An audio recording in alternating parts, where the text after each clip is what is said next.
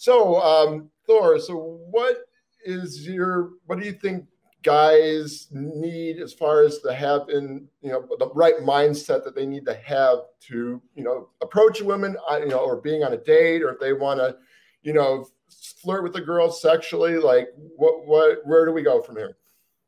That's a really good question. Uh, what type of mindset do they need? Well, the mindset you need, obviously, you're hitting onto it, is confidence. I mean, how many times have you heard essentially from the women just be confident? Oh, did you see that guy's confidence? Look, he's walking with confidence, right? I mean, you hear that all the time. So, what does confidence actually mean in that context? Uh, well, in some sense, when it comes to dating and sexuality, it means that you need to con her out of her defenses. That's confidence.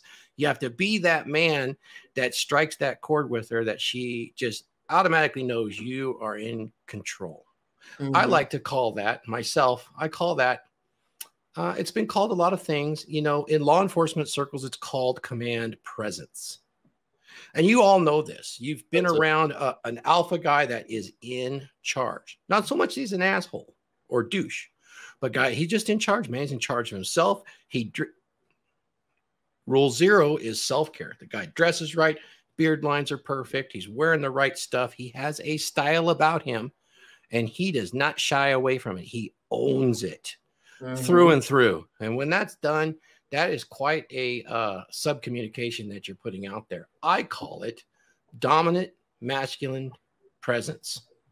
Mm-hmm. I actually have a list that I've been working on for my new course on how to, to, to, help guys acquire this this uh, dominant masculine um, presence. There are certain traits that you can exercise uh, body language, communication styles, um, just very simple things that you can put together in small bits and pieces. If you've never done this, out of the list of 20 that I have, uh, you're not going to want to do them all at once because we've all seen the guy that shows up eyes wide like this and he's just, yeah, yeah, barking orders because he thinks he's being you know, dominant presence. Well, he's just a douchebag.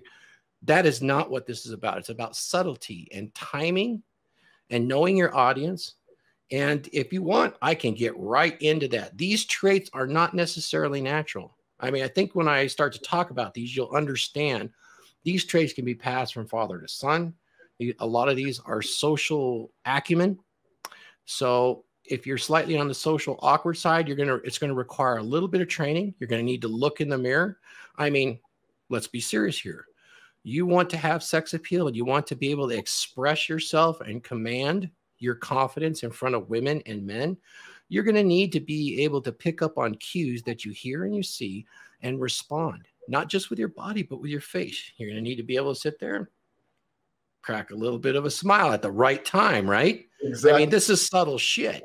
You know, you don't want your eyes to do something like this, but you do want to be able to fix your gaze.